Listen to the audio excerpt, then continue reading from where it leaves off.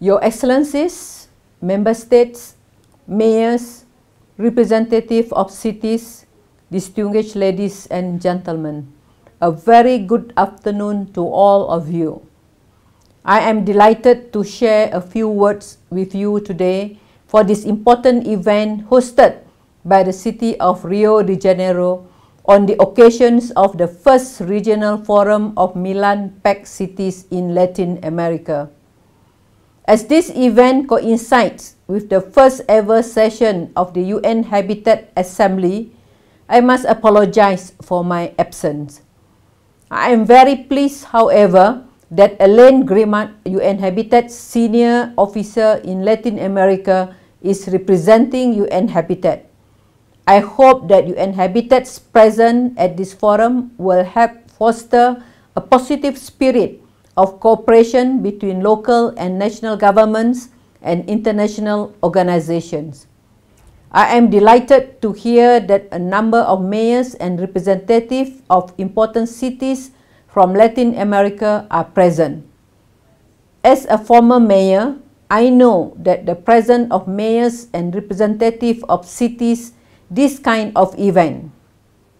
Allow me to share the following three messages with you. One, on the theme of the role of cities in the global agenda, Latin America is the most urbanized region in the world, so integrating food in the priorities of cities makes sense since cities drive demand for agricultural products. The theme for discussion in the next three days, improving sustainability, enhancing identity and tackling inequalities are linked to the 2030 agenda.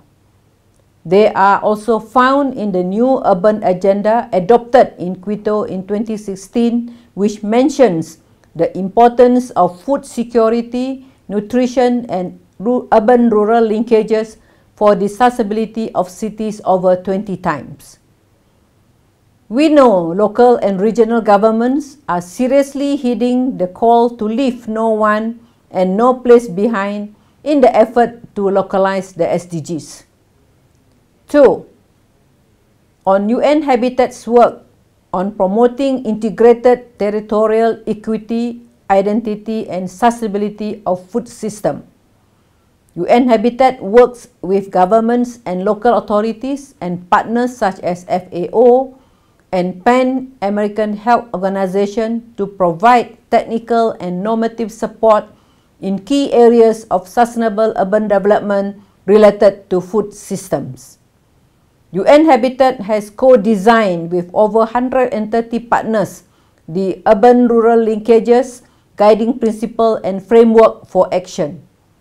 The guiding principles and actions also contribute to two of the four domains of change in the UN Habitat Strategic Plan 2020 to 2025, namely reduce spatial inequality and poverty in communities across urban-rural continuum and enhance shared prosperity of cities and regions. The third message, linking local and national approaches to governance of territorial food systems. National governments are implementing the SDGs and the new urban agenda. UN Habitat has developed the international guidelines for urban and territorial planning to assist relevant stakeholders in planning. Food systems are one of the thematic entry points that the guidelines could have localized in a country, region, or city context.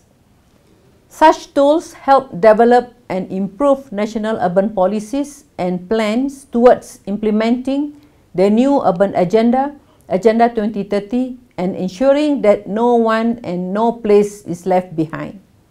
I wish you all fruitful meetings and hope that the letter of Rio or declarations of mayors being signed at the end of your forum will contribute to build real alliance of Latin American cities towards the Milan Urban Food Policy Pact.